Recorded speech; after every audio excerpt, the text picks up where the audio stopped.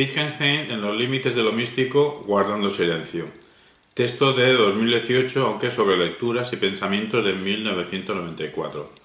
Ludwig Wittgenstein cerró el único libro que publicó en vida, el Tractatus de 1921, con la célebre sentencia de, lo que no se puede hablar, lo mejor es callarse. ¿De qué se puede hablar entonces? ¿Y de qué cabe guardarse las palabras?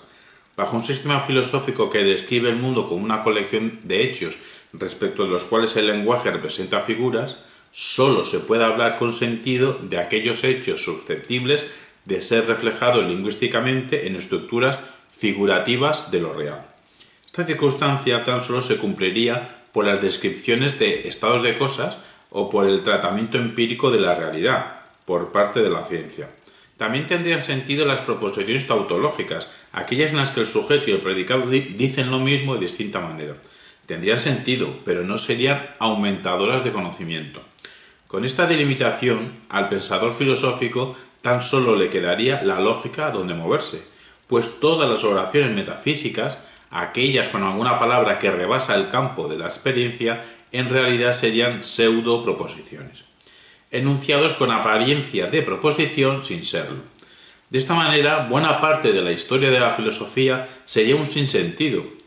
Ámbitos interesantes abordados por los filósofos serían lo ético y lo estético, sobre los cuales cabe guardar silencio, pues carecemos de un modo plenamente consentido, figurativo, para hablar de estos asuntos, lo cual no quiere decir que sean irrelevantes, todo lo contrario, apuntan a lo que está más allá de los límites del lenguaje.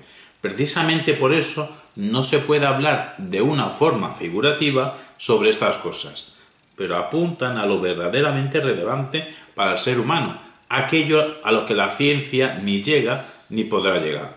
De ahí que, por esta relevancia, Wittgenstein denomine a esta área ética-estética lo místico. El arte podría intentar asomarse allí donde no se llega ni con el lenguaje ordinario, ni con las teorías científicas, ni con las fórmulas matemáticas.